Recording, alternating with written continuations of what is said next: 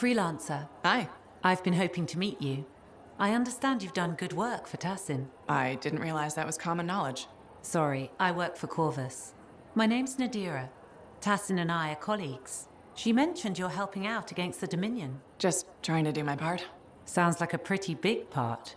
I wonder if you'd speak with my husband. What do you need? It's unusual. His name is Leighton. He was once a spy himself, and he has problems coping. Things that happened to him in his past. But he won't open up to me. And since you're cleared for Corvus, I thought you could have a chat.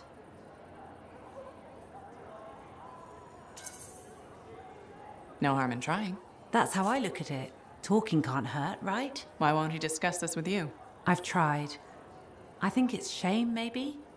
He doesn't want me to see that side of him. He's become more distant, aloof, and he doesn't have any friends, so. Maybe he'll unburden himself to a stranger. Exactly. Tassyn seems high on you. I thought if you spoke with him, Leighton might open up.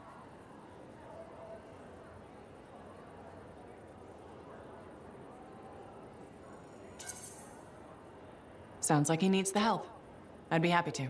I'd really appreciate that. I think he just needs a friend.